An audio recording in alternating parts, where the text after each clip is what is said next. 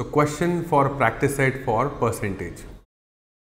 You can pause the video if you have not come across this question earlier, pause this video and go through the question.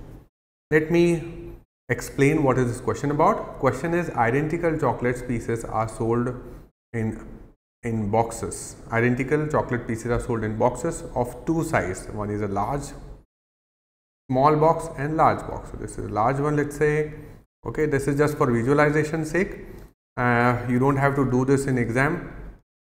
The small box. Okay. The large box is sold at twice the price. So price wise it is double.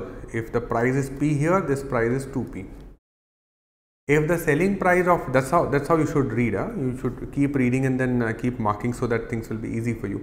If the selling price per gram of chocolate of large box is 12 percent less so, the selling price per gram, per gram, per gram there is a difference.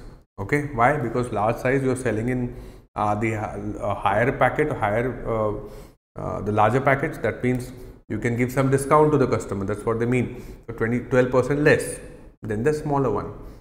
The percentage by which the weight of the chocolate in the large box exceeds that's the smaller box that means the, we need to once we need to find out the weight weight of the large one weight of the small one. We need to find this weight of large one is how much percentage more?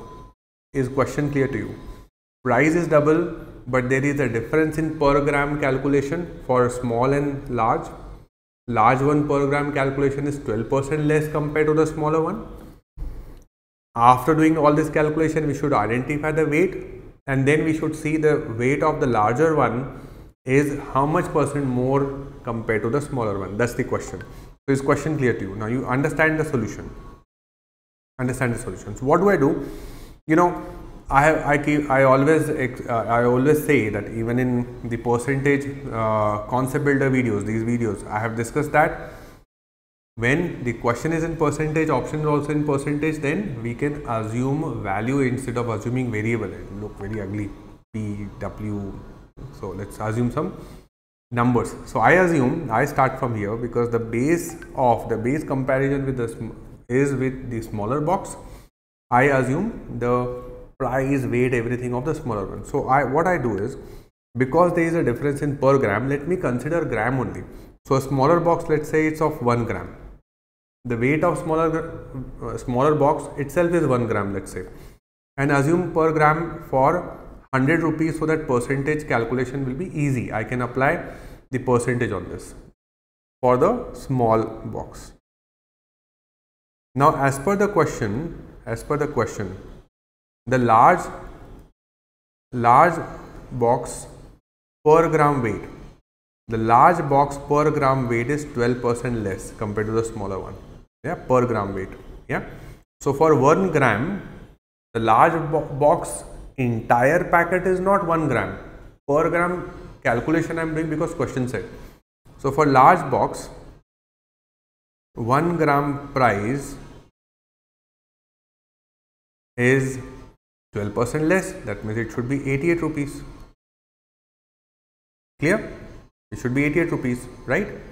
But question said the large the price of the large box price of the large box is actually double the smaller one. Okay when you get to sell this when you go to sell this the large box price is actually double. Where is it written here? The large box sold twice the price of the smaller one. Twice the price of the smaller one.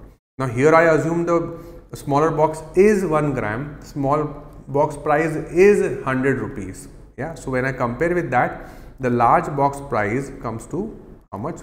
200 rupees right? And we don't know the weight. We need to find the weight. So for the large box 1 gram is costing 88 rupees. Then for the large box how much weight should cost 200 rupees? Can you do this? Yeah we do this with cross multiplication. What is it called? Chain rule. Yes chain rule guys.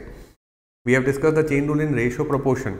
So you can go through the ratio proportion uh, lectures if you have not gone through that. So now let, let's cross multiply. So this question mark will be equal to 200 divided by 88. That's nothing but if you cancel this, you will get 25 by 11. Yeah, that's the weight of the large box. Now, is that the answer? No. Question said find the percentage more.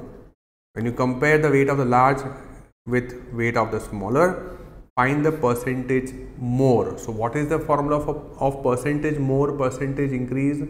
That's difference by initial. You are comparing with the smaller box. Multiply by 100 to convert into percentage. So, weight of the large box and here this is weight of the smaller box. Yes. So, 25 by 11 and 1. What is the difference? 25 by 11 minus 1. What is the difference? The weight of the smaller one is 1 only. There is no need to write 1 in the denominator, but just for just to explain you. See the difference? Difference is what? Here 14 by 11 into 100. Denominator, this denominator 1, no need to write. Yes, if you simplify this, you get 120 percent approximately. Approximately.